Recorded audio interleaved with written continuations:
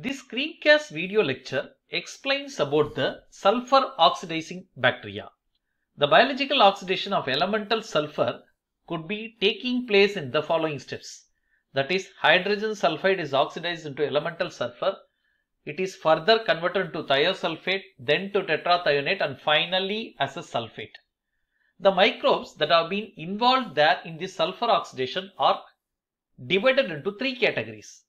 First one refers to the photoautotrophic organism.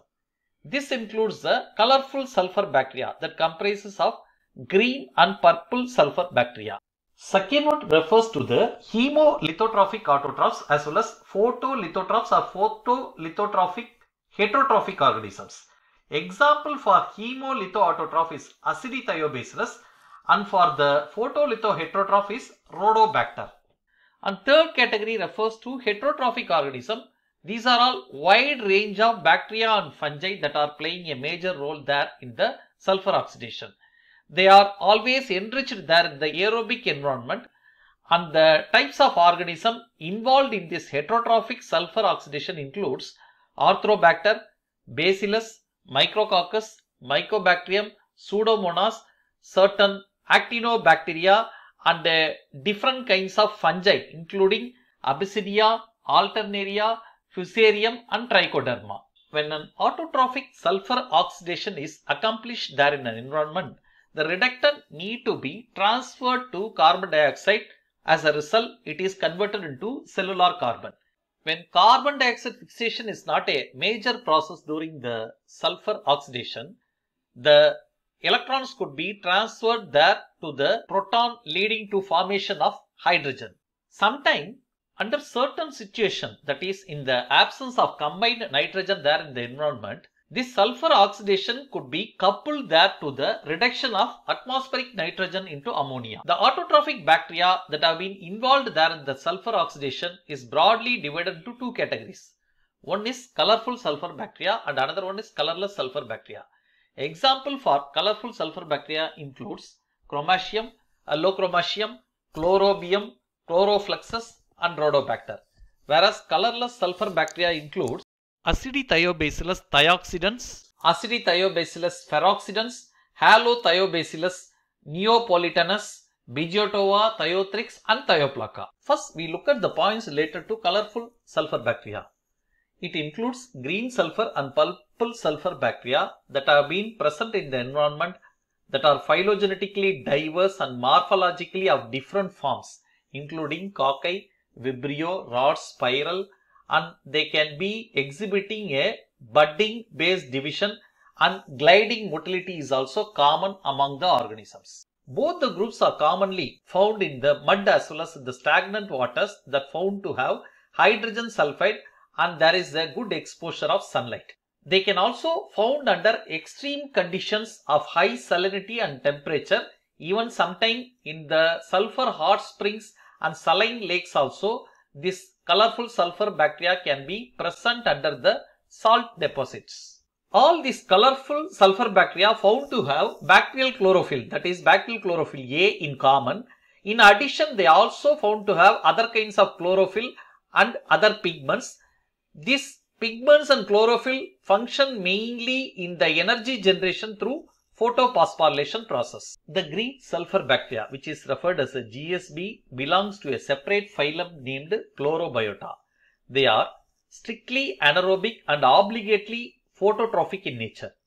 They can able to use hydrogen sulfide and elemental sulfur as a photosynthetic electron donor molecule and they are all in turn get oxidized into sulfate during the process of sulfur oxidation. Their light absorbing pigments include carotenoids such as green carotenoids of chlorobactin or brown forms such as isorenieratene and beta isorenieratene.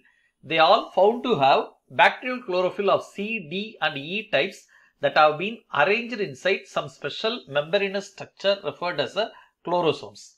These chlorosomes are highly efficient to absorb the light energy at very low intensities.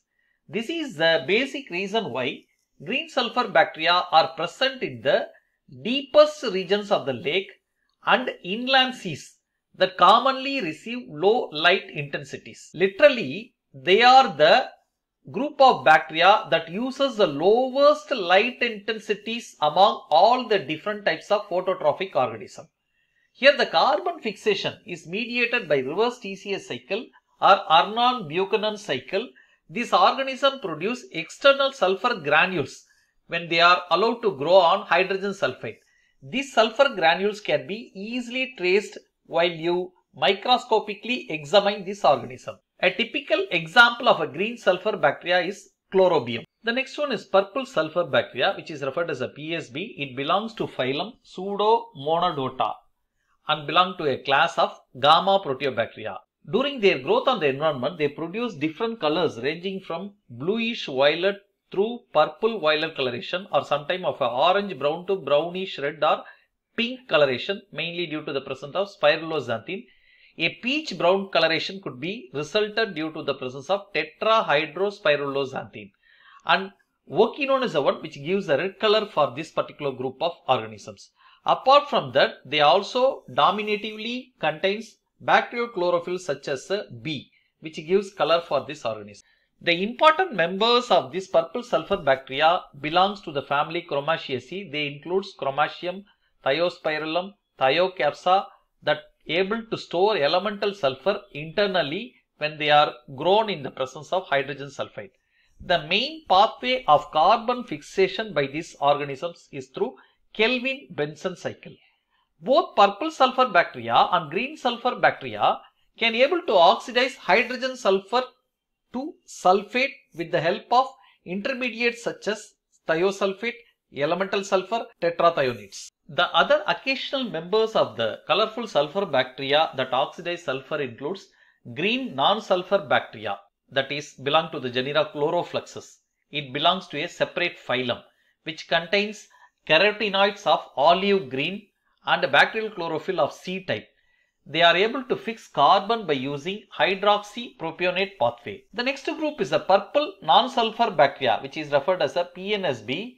It specifically belongs to the genera of Rhodospirillum which comes under the class Gamma proteobacteria. These are the bacteria that are all anaerobic to facultative aerobic in nature and some belongs to photoorganotrophs and sometimes facultative chemoorganotrophy is also exhibited in this bacteria.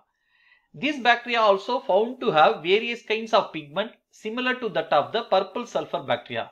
The important pigments here includes the spirilloxanthin, hydrospirilloxanthin, spheroidene that gives yellowish brown to brownish red color under an oxygenated condition whereas greenish to beige brown color will be resulted under a reduced condition. However, in both purple non-sulfur bacteria and green non-sulfur bacteria, sulfur oxidation process limits to formation of elemental sulfur.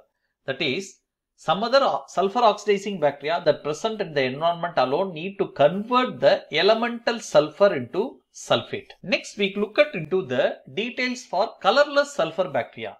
They are heterogeneous collection of taxonomically unrelated group of bacteria that oxidizes reduced sulfur compounds as a inorganic source to generate energy.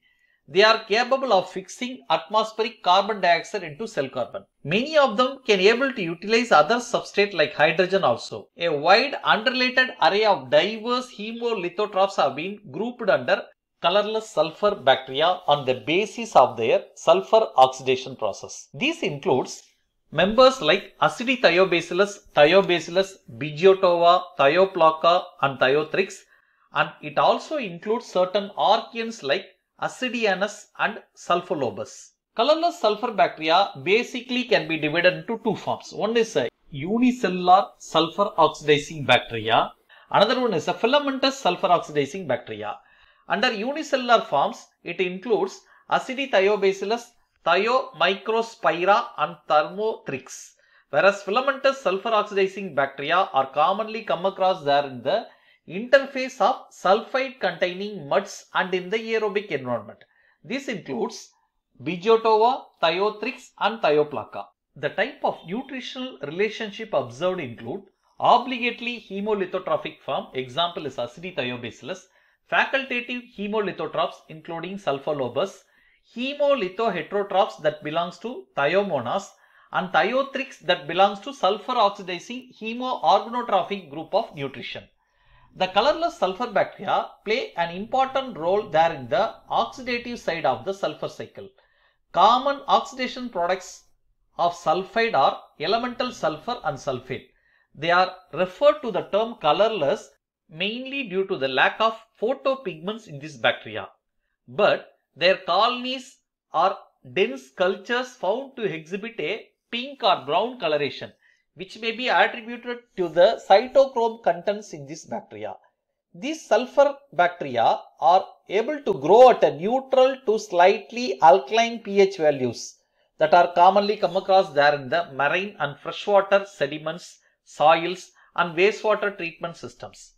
Some colorless sulfur bacteria are extreme acidophiles that is they can able to grow at a pH value as low as 1. This group include mesophilic obligate as well as facultative autotrophs like Acidithiobacillus ferrooxidans and Acidithiobacillus acidophilus respectively.